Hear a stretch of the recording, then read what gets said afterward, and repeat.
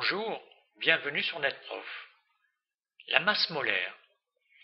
La masse molaire, c'est donc la masse d'une mole. Étant donné qu'une mole correspond à 6,02 10 puissance 23 particules de matière, la masse molaire dépend de la structure de la matière. La matière peut se présenter à l'état moléculaire, à l'état atomique ou bien à l'état ionique. Donc, pour chaque cas, on va pouvoir calculer la masse molaire correspondante. La masse molaire atomique, c'est donc la masse molaire correspondant à une mole d'atome. Par exemple, on va le noter grand M, indice C, la masse molaire atomique pour l'atome de carbone. Et on retrouve cette valeur un peu particulière qui est notre échantillon de référence utilisé pour définir l'unité de quantité de matière, à savoir la mole, ici pour le carbone. Tous les atomes se caractérisent par leur masse molaire atomique, et ces valeurs, elles ont été calculées une fois pour toutes et rassemblées dans la classification périodique des éléments.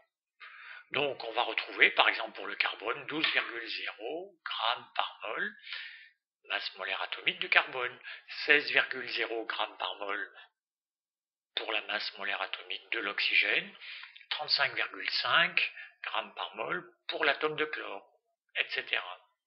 Toutes les masses molaires atomiques figurent dans la classification périodique des éléments.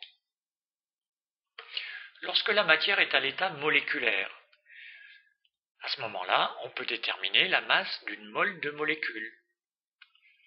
Elle sera égale à la somme des masses molaires atomiques de tous les atomes qui participent à cette molécule.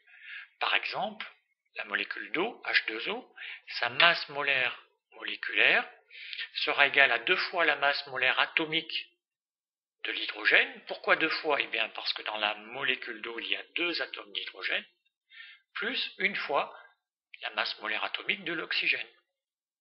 On remplace les masses molaires atomiques par leur valeur et on obtient 18,0 g par mol. C'est la masse molaire moléculaire de l'eau. Lorsque la matière se trouve à l'état ionique, on va donc pouvoir déterminer la masse molaire ionique correspondant à la masse d'une mole d'ion. Alors dans ce cas-là, c'est encore plus facile dans la mesure où les ions, ce sont des atomes qui se sont transformés en gagnant ou en perdant un ou plusieurs électrons. Mais les électrons ont une masse qui est vraiment très faible devant celle de l'atome. Donc on va pouvoir négliger cette masse. Et en fait, on va considérer que la masse molaire atomique ionique correspond à la masse molaire atomique donc de l'atome correspondant. Ce qui fait qu'on va pouvoir écrire que M indice Cl-, c'est-à-dire l'ion chlorure, eh bien, est égal à la masse molaire atomique du chlore, donc 35,5 grammes. En d'autres termes, 35,5 grammes par mol correspond à la masse molaire atomique du chlore et également à la masse molaire ionique de l'ion chlorure. Alors en ce qui concerne les ions polyatomiques, eh bien, on procède comme pour une molécule, puisqu'il s'agit d'un groupement d'atomes, euh, donc on va faire intervenir les masses molaires atomiques de chaque atome présent dans le groupement. Ici par exemple pour l'ion sulfate, SO4 la masse molaire ionique de l'ion sulfate sera égale à la masse molaire atomique du soufre, qui intervient une fois dans le groupement, plus 4 fois la masse molaire atomique de l'oxygène. Pourquoi 4 Eh bien parce qu'il y a 4 oxygènes dans l'ion sulfate.